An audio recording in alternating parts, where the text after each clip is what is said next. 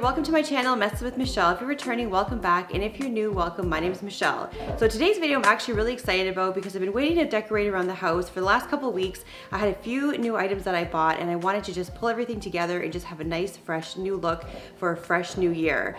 So I'm gonna be focusing on my mantle, my hallway table, and I bought a few new cushions as well as a throw for my couch. These are the typical areas I love to design and just redecorate because these are the areas of the house that really stand out and you really see when you come into the house. So I'll show you what I bought first and then I'll jump in and start the decorating process. Before I actually show you what I bought for my new decor for my living room, I'm going to show you an overview of my living room because if you haven't been in my channel before, you may have not seen this space. So this is my living room area. I added pops of yellow in the summertime and I redecorated my mantle in the spring. So I just wanted to refresh the look and just add more neutral colors. I have some green in my planters on my mantle and I wanted to switch those out for a more neutral look when it comes to florals. And I'm also going to be focusing on decorating my hallway table as well as my planter just to bring in the neutral tones in this area as well. Here's all the new decor that I bought for my living room as well as my front hallway table and planter. And I am using a lot of colors that I previously had, particularly the cream color and the black accents. I really like the way it looks in this space, but I wanted to switch things out and just have a new, more fresh look. And as I mentioned, I wanted to take some of the greenery out and replace it with a more neutral floral decor. So I'm gonna go ahead and start taking everything off my mantle. And you're gonna see that I'm not going to remove the vase as well as the planter because I'm going to be reusing those. One of the things I love about my mantle and the decor that I previously had selected is that I can redecorate these items and I can put new floral arrangements in them just to switch up the look. And I found these really great feather-like branches from Urban Barn and I really like the height and I like to put a little bit of a height into my living room, especially on the mantle because it just draws your eyes up and down and makes more visual interest when you first walk into the room. I bought these florals as well from Urban Barn and I wanted to add a bit of contrasting colors to add to the vase. So I like to also add contrasting colors just to break up the look. So I'm going to be using black accents and this is going to pair well with the florals that I've chosen for this vase. So this way just not solid cream or white in this area. It just gives a little bit more visual interest to have two different colors in the same vase.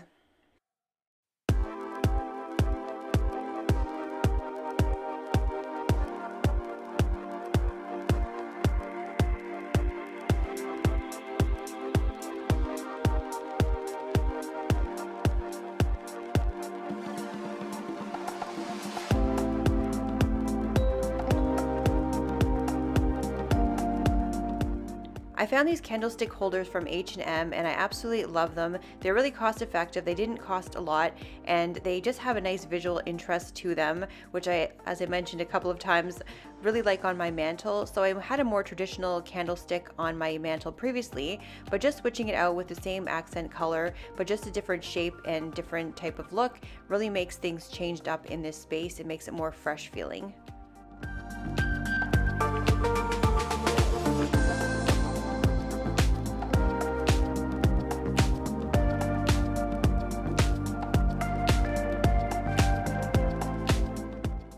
I wanted to add new florals to this small planter and I had a vision in mind of what I wanted. I knew that I wanted to go for a neutral look and I was looking for a small low-lying type of plant so it wasn't too high when you put it inside the planter but I couldn't find anything pre-made that was the size that I was looking for. So with the help of this arrangement that I bought from HomeSense I'm going to just create my own arrangement. I had a vision in mind and I didn't really have a real plan of what I was going to do. I just knew that I wanted to have this type of look so I just fiddled around with the planter. It just took some time to figure out what I wanted to do and how high I wanted to have the arrangement.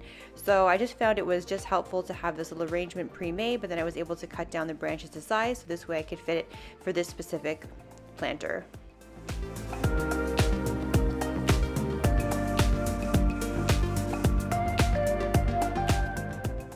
Here's the end result, what I've come up with for this planter, and it definitely came to life my vision. I'm really happy how it turned out, and it gives that neutral look, but also very low lying, so this way it's not overwhelming inside this small short planter.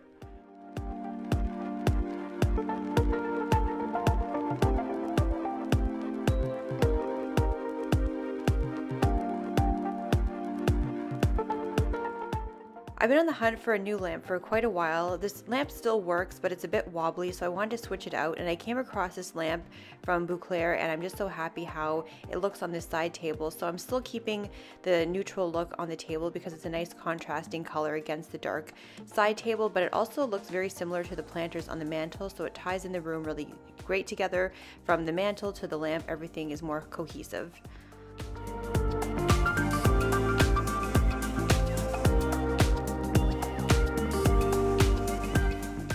I'm replacing the planter for my fake tree, or should I say my faux tree, that sounds a lot nicer, but I wanted to change out the planter because it seemed a little bit too small for the base, and I wanted to add a little bit of extra height as well as some contrasting color because I had the dark floors, the dark planter, and it really just got blended in. So this nice wicker basket really helps pop and stand out a little bit more against the dark flooring. I'm also redecorating the front hallway and I'm going to be pulling in the neutral decor in my planter as well as the front hallway table. These are the areas you see when you first walk in the house. And going back to what I had mentioned is just using items that you already currently have but just decorate them in a different way. So I just added this different floral arrangement in the planter when you first walk in just to change up the look. And I'm also going to be adding just a few vases on top of this hallway table. So this way I have the contrasting black and cream and tying in the neutral palette in this area as well. I really like the height of these vases next to each other, but I found that having just two on the tray just felt a little bit off, so I just actually am going to be taking a vase that I had previously on my mantle and popping it on the tray because when you have things paired in threes, especially with home accents and decor, it just looks really great and this vase was a perfect match for this area. So I finished up decorating my living room as well as my front hallway and here's just a reminder what the living room looked like so you can see the difference between the before and after. And coming up is the after and just a few shots of how everything looks. Now when it comes to decor, I did keep the color palette neutral. I did switch out the pillows and added a new throw and I just also switched out some of the home accents on my mantle. But I didn't really deviate away from my original color palette. I just took out the greenery and I didn't really want to reinvent the wheel. I just wanted to freshen up the look and I really knew that the neutral colors with the pops of black accents really worked in this space. So you can still have the same color palette, just change out your decor slightly and you feel like you have a fresh new look. And that's exactly how I feel with my mantle, just by switching out the floral decor as well as my candlesticks and just switching out the accents on the mantle really changed up how this room feels.